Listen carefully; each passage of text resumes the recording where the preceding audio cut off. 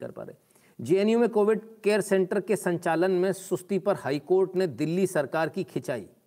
जाने क्या कहा? बताइए साहब।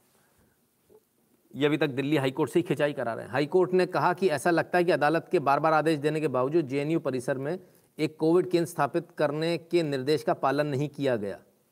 तो दिल्ली सरकार को आज फिर फटकार लगी। अरे साहब, आप भी किन को फटकार लगा रहे हो, माई बाप? किसको फटकार लगा रहे हो? कोई फ़र्क नहीं पड़ने वाला है। मोटी चमड़ी है।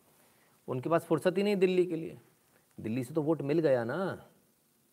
हाँ दिल्ली से तो वोट मिल गया ना। अब क्या करना है? मेरी वाइफ ने एक बार बोला मेरे से। बोले, शादी से पहले तो बड़ा घुमाने ले जाते थे, अभी तो कहीं घुमाने नहीं ले जाते। तब तो रेस्टोरेंट में खाना खिलाने ले जाते थे। तो मैंने कहा, एक बात बता, मछली कोई पकड़ ले, उसके बाद मछली को दाना खिलाता है